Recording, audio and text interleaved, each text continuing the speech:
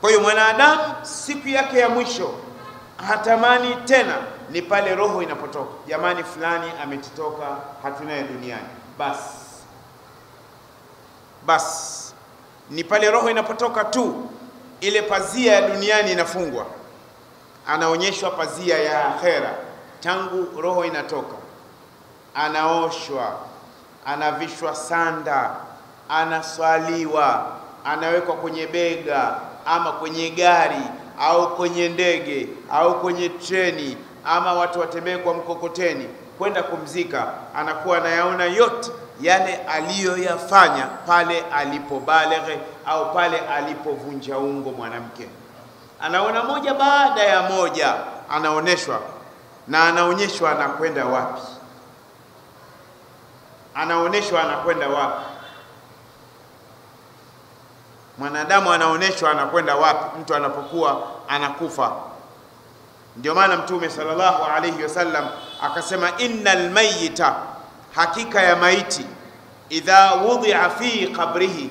Sikilizeni vizuri, kisa Mtume anasimulia maiti anapowekwa kaburini mwake, innahu, hakika huyu maiti, yasma'u, anasikia khafqa ni'alihim, mlio sauti za viatu vyao hina yuwalluna anhu, wanapomwacha makaburini. Tumeshamzika mwenzetu na kaburi limesawazishwa, tumemwombea dua, wakati tunaondoka anasikia kwamba hawa wanaondoka, anasikia mzima kabisa. Mtume akasema, fa in kana mu'minan, kama huyu aliyezikwa alikuwa ni mu'min, Muislamu, khamsa salawati, ni mwanamke amekufa khamsa salawati mwanamume amekufa khamsa salawat, alikuwa na ni mu'min kweli. Kanat salatu inda rasi, swala inakuja kuweka ulinzi kichwani. Swala swala zake zote alizoziswali za faradhi zinakuja huko. Mtume akasema, wa kana siyamu an yamini, funga inakuja kusimama kuliani kwake, funga hiyo. Tumeelewana vizuri? wa kanat zakatu an shimali zaka inakuja upande wake wa kushoto.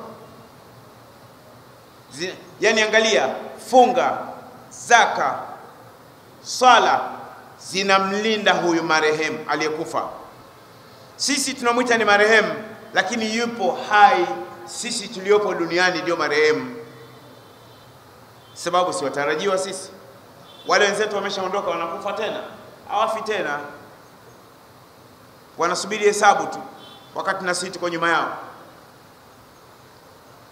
Sasa Mtume akasema, wakana fi'lul khairat, yanakuja matendo ya kheri aliyoyafanya yule aliyezikwa siku ile.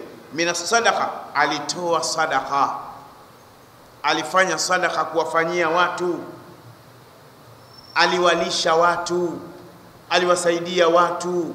Matatizo waliokuwa nayo mazito alisikia, akapata habari, akanyoosha mkono wake. Wasila, alijenga udugu.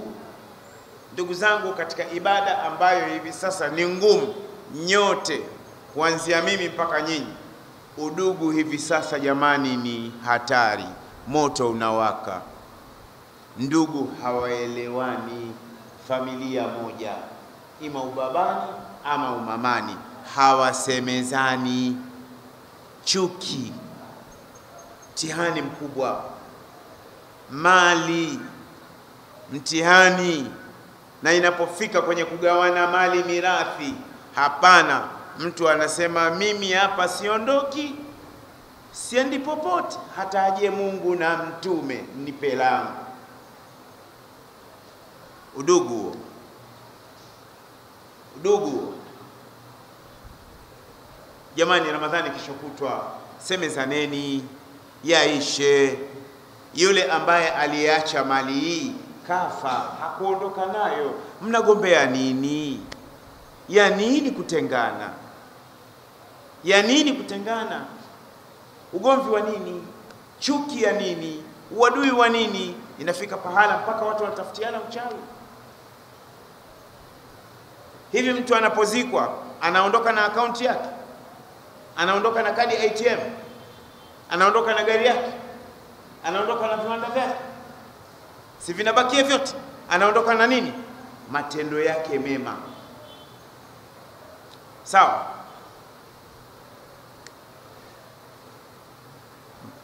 Sasa hapa Mtume anasema wal ihsani ila nnas inda rijlaihi, ihsani aliyowafanyia we watu inayokuwa upande wa miguuni. fatakulu sala fayuta min qibali rasihi, malaika wanakuja upande wa kichwani. Malaika watu shaondoka kabisa, wengine wameshakuwa na makazini, wengine wamerudi, sema bana, tumetoka kumzika fulani bana, amefariki bana, tumetoka kumzika baba fulani, mzee fulani, dada fulani, mama fulani, mheshimiwa fulani, shekhe fulani, star fulani. Sasa Mtume anasema fayuta min qibali rasihi, wanakuja wale malaika upande wa kuliani kwake. fatakulu sala, sala inawaambia malaika wale malaika kaburini, ma qibali madkhalun, upande wa huku kichwani, amna namna ya kuja kumwadhibu huyu, achaneni naye swala hiyo. Haya, umekufa bila kuswali, unatetewa na nani? Jamaa wanaanza kukusagia huku kichwani, piga kweli kweli, kisago. Mna habari, kuna watu mara ya kwanza majeneza yanaingia msikitini? Hawajawahi kuswali, wao na taarabu tu. Na singeli, kigoma cha urugwai baikoko, hip hop, bongo flavor wao na gym tu. Wao na biashara tu, wao na kazi tu, wao na ofisi. Na kuna wengine wanaanza kusali baada ya kustafu, mwingine anaanza kusali baada ya wakati anafuatilia mafao yake, anaomba dua hela yake itoke. Sasa swala inamwambia malaika ma qibali madkhalun thumma yu'ta an yaminihi, wale malaika wanakuja upande wa kuliani kwa yule bwana aliyefariki, fayaqulu siyam, funga inawaambia wale malaika ma qibali madkhalun, upande wangu huyu hakuna namna ya kumsogelea huyu bwana, naye, amefunga Ramadhani muda wote alikuwa hai. Kuna akina mama leo hawajalipa Ramadhani, wanauliza maswali tu, shekhe, mwaka jana imetokea nimejifungua, kila nikifunga nywele zinauma. Yani wanakuwa na sababu za ajabu ajabu. Inapofikia Shaaban ndio akina mama hawa wanauliza maswali. Sasa Shaabani, wewe unafunga nzima, mimi nitakujibu vipi? Kinachotakiwa pale ni shekhe ajibu swali kama kutoa kibali. Mi huwa nachomoa mwanangu, maswali kama hayo nachomoa, kwa sababu miezi kumi na moja yote hujaweza una, yani leo tarehe ishirini Shaabani unauliza swali hili, eti ni lawama? Si lawama hiyo lawama. Mbona vikoba wanalipa tena? Vikoba anafatwa na watu mlangoni, shoga, tumekufata leo, ndio tarehe yetu, na akichelewa wanamchamba kwenye vikoba. Kwa nini? Swala, funga. Haya, thumma yuta an yasarihi, kisha wale malaika wanakuja upande wa kushotoni Fatakulu zaka, zaka inawaambia wale malaika ma qibali madkhalun, upande wangu mi hakuna namna ya kuingia. Haya, huyu ni mfanyabiashara amekufa, hajawahi kutoa zaka.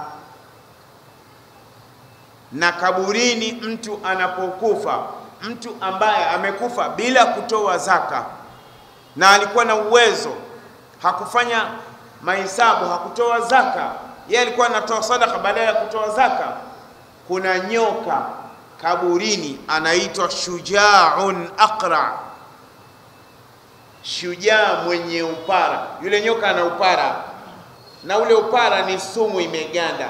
Nyoka huyu ameandaliwa kwa watu watatu. Wa kwanza, mtu ambaye amekufa bila kutoa zaka. Yule nyoka atamsogelea, atamwambia ana maluka mimi ndio mali yako, ana kanzuka, mimi ndiyo akiba yako, akaunti yako, na atamkumbuka yule nyoka. Yule nyoka, mtu wa pili, atamdokoa mtu ambaye amekufa bila kusali. Yule nyoka, ndio shughuli yake tu. Ikifika dhuhuri, chap, na sumu yake ni mwili mzima. kabla sumu haijaisha alasiri, kabla sumu haijaisha magharibi, kabla sumu haijaisha ishai, kabla sumu haijaisha alfajiri. Hiyo ndio kazi yake yule nyoka. Nyoka huyu mtu mwingine wa tatu ni mtu ambaye aliyekuwa akijisaidia haja ndogo, anapigwa na cheche za mkojo kwenye miguu yake. Waislamu, tunapokwenda kujisaidia haja ndogo, tuwe makini na cheche za mkojo. Ile sehemu utachomwa, utang'atwa na nyoka na utachomwa na msumari wa moto kama mshikaki. Sasa huyu bwana zaka imeshamtetea. Sasa baada ya hapo, thumma yu'ta min qibali rijlaihi, wale malaika watakuja upande wa miguuni, fayaqulu fi'lu lkhairat, vitendo vyema alivyovifanya. Ana kheri alizozifanya huyu mama, ana kheri alizozifanya huyu baba, huyu kaka, sadaqa wasila, udugu walmaruf, ana mema aliyoyafanya, walihsani ila nnas, aliwasaidia sana watu.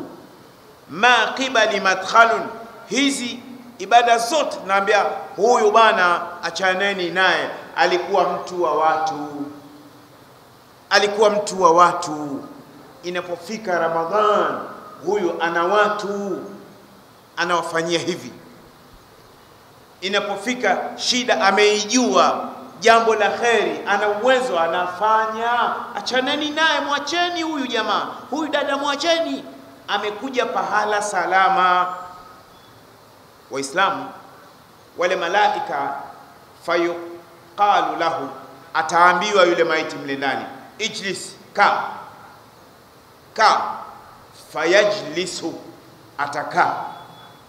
Kwa hiyo kaburini, malai wale waliokufa wote wanakaa anakaa waqad muthilat lahu au mathulat lahu shamsu waqad adhanat lilghurub, anakaa anaonyeshwa pale pale kaburini, jua linakwenda kuzama. Pale pale kaburini, anaonyeshwa kama jua linazama. Fayuqalu lahu, anaulizwa swali hili kaburini, araaitaka hadha rajul hadha rajul alladhi kana fikum, unasemaje kuhusu huyu mtu mliokuwa naye? Wewe umekufa leo, kuna mtu duniani alikuwa anatajwa tajwa, vipi? Ma taqulu fihi, unasemaje kuhusu yeye? Wa madha tashhadu bihi alayhi, unatoa ushahidi gani? Unamjua vipi ujamaa jamaa?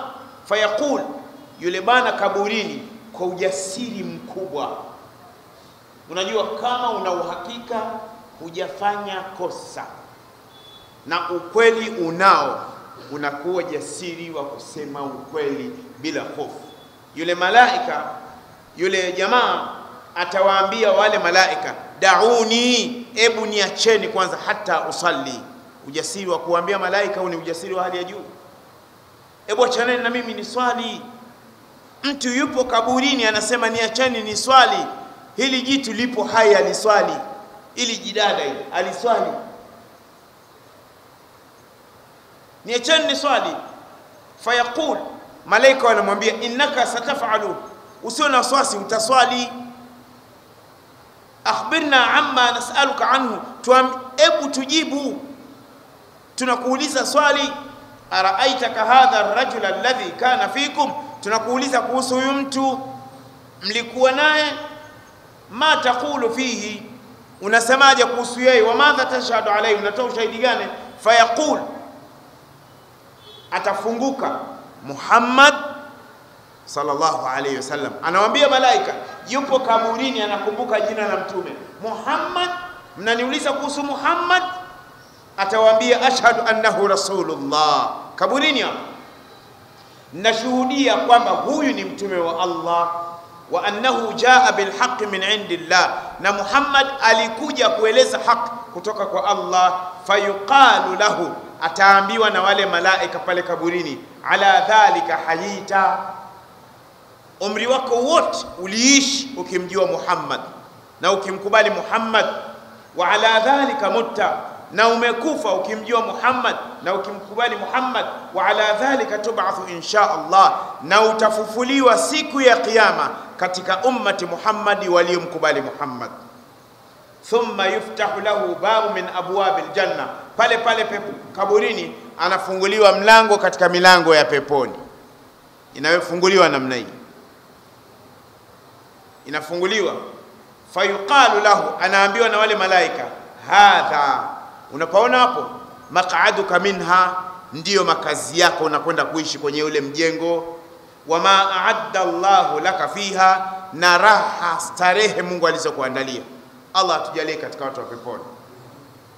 Anaonyeshwa namna hii kwenye screen, fayazdadu ghibtatan wa surura, kisha anakuwa na furaha sana anatamani arudi tena, hawezi kurudi. Thumma yuftahu lahu babu min abwabi nar, kisha anafunguliwa mlango wa motoni pale pale kaburini. Fayuqalu lahu, anaambia unaona, unauona umoto, hadha maq'aduka minha, hapo ndipo ulipotakiwa uende kuishi hapo. Wama aadda Allahu laka fiha, na adhabu ambazo Mungu alikuwa amekuandalia, lau asaitahu, kama ungemuasi sasa pale, thumma yufsahu lahu fi qabrihi sab'una dhiraan, kaburi lake yule mtu linapanuliwa mara sabini. Ni mji, si mji huo, mji mkubwa peke yake, sawa. Ana wayuadu ljasadu lima badaa minhu, anarejeshewa mwili wake kama alivyokuwa. Vile ulivyokuwa unaonekana duniani, lakini unakuwa mzuri, unakuwa mzuri, umependeza sana, na unakuwa ni mrefu. Na watu wa peponi wote miaka thelathini na tatu, unakuwa kijana, umekufa kibabu kibibi, unakuwa kijana. Ulikuwa ni mfupi, unakuwa mrefu. manake peponi hawatakii watu wafupi kuingia huko. Peponi watu wote watakuwa warefu, dhiraa sitini Yani mtu wa peponi urefu wake ni mita 34 kwenda juu. Hatari hiyo. Anaishi kwa raha. Mtume akasema wa in, wa innal kafira, na hakika kafiri. Kafiri sasa ameshazikwa. Kafiri amekufa bila kusali, amekufa ni mzinifu, amekufa ni chapombe, amekufa ni mkabaji, amekufa ni mtu wa hibab, amekufa ni mtu sijua nini. Idha utiya min qibali rasi, malaika wanakuja kichwani kaburini, lam yujad shay'un, hawakuti kitu, kupe wanaanza kugonga huko chapa. Thumma utia an shimali, wanakuja kushotoni, fala yujad shay, hawakuti kitu. Thumma utiya min qibali rijlai, wanakuja upande wa miguuni, hawakuti kitu. Fayuqalu lahu, yule kafiri ambaye amekufa na maasi anaambiwa ijlisi, ka ka, anakaa. Fayajlis, anakaa. Khaifan, hali mwenye hofu. Maruban, ana wasiwasi. Ka ka, kwa vile mnakutana na afande na unajua kweli unakosa, ni kweli unakosa. Simama, simama. Kumbe afande anakuulizia kitu kingine lakini kwa sababu wewe una makosa ushaanza kujitia wasiwasi. Lakini kama huna kosa lolote, unasimama, tunamwangalia afande, sema afande, samani, nataka kuuliza kitu fulani. Haya, uliza. Kwa ni kwamba lakini huyu sasa, huyu ana makosa. Fayuqalu lahu, huyu kafiri ataulizwa. Si hapa duniani makafiri hawamkubali Mtume Muhammad na hawamwamini na hawamjui mwanangu atakwenda kupata kipigo, ataulizwa araaitaka hadha arrajula alladhi kana fikum, unamjua huyu kuhusu ujamaa mlikuwa naye? Fala yahtadi lismihi, hato jina hata jina hatomjua. Hivi kuna Muislamu unaweza ukamuuliza akawa halijui jina la Mtume? Ha? hajui jina la Mtume Muhammad, unamuuliza Muhammad ni nani? Muhammad. Muhammad Muhammad. Si nani hivi. Ah, mm, Ramadhani. Ramadhani? Ah, hapana Khamisi. Khamisi? Ah, Mbaruk. Hajui jina la mtume. Hata lijua hata yuqala lahu, mpaka ataambiwa Muhammadun, tunakuuliza kuhusu Muhammad, unasemaje? Fayaqulu, lile jitu litasema ma adiri, simjui Muhammad. Sami'tu nnasa qalu qawla, nilikuwa nasikia watu wanasema kuhusu Muhammad. Fakultu kama qala nnas, na mimi nikasema kama walivyosema watu. Fayuqalu dhalika ala, ataambiwa kama yule yule kwamba uliishi bana maisha hayo hukumjua Muhammad na hukumfuata Mtume Muhammad sallallahu alaihi wasallam. Thumma yuftahu lahu babu min abwabi nar kisha atafungu, ataf, atafunguliwa mlango katika milango ya motoni. Thumma yuftahu lahu babu min abwabi annar, kisha atafunguliwa mlango katika milango ya motoni. Fayuqalu lahu, ataambiwa hadha maq'aduka minan nar. Unaona, hii ndio makazi yako ya motoni. Jamani, mnajua motoni kuna makazi, kuna majumba. Wama aadda Allah Allahu laka, fiha, na adhabu aliyokuandalia Mwenyezi Mungu. Wama aadda Allahu laka fiha fayazdadu hasaratan wa thubura, atazidi kujuta na kusikitika. Thumma yuftahu lahu babu min abwabi aljanna yule kafiri pale pale kaburini atafunguliwa mlango katika milango ya peponi. Fayuqalu lahu dhalika maqaduka min aljanna, pale ndipo ulipotakiwa kwenda kuishi. Lau ata'tahu, kama ungemtii Allah na kumtii Mtume sallallahu alayhi wasallam. Mtume anasema thumma yudayyaqu alayhi fi qabrihi, huyu kafiri atabanwa kaburi lake, litabanwa kaburi lake. Ni star ni nani ni nani mashuhuri duniani, kafa kafiri, hamjui mtume, kafa hasali, kafa hafungi, kafa cha pombe, ni mzinifu, cheza kamari, ni mtu wa kubeti betting sports. Fayudayyaq alayhi fi qabri, kaburi lake litabanwa hata takhtalifa fihi adla'uhu, mpaka mbavu zake zitapishana namna hii mbavu zitapishana hivi. Tumeelewa jamani? Yaani mtu atabanu baada ya kuulizwa na kushindwa, hajaswali hajafunga tena, kafa kafiri, anabanwa kaburini. Hizi mbavu za kulia na kushotoni zitapishana namna hii. fatilka almaishatun danka, haya ndiyo maisha ya dhiki ambayo Allah ameeleza katika Qur'an. fa inna lahu maishatan dhanka wa nahshuruhu yawma alqiyamati a'ma huyu mtu atakuwa na maisha ya dhiki na atafufuliwa siku ya Kiyama hali ya kuwa ni mlemavu wa macho. Kwa hiyo ndugu zangu, mwanadamu ni mtu wa tamaa, ni mtu wa tamaa vyovyote vile iwavyo. Mwanadamu ana kawaida ya tamaa, lakini pamoja na yote hayo, ndugu zangu, tuwe na tamaa ya kheri, sawa? Ndio maana masahaba walikuwa wanashindana katika mambo ya khairati. Akimuona mwenzake kafanya hivi, yeye anafanya hivi. Akimuona mwenzake kafanya hivi, yeye anafanya hivi. Akimuona mwenzake anafanya hivi, yeye anafanya hivi.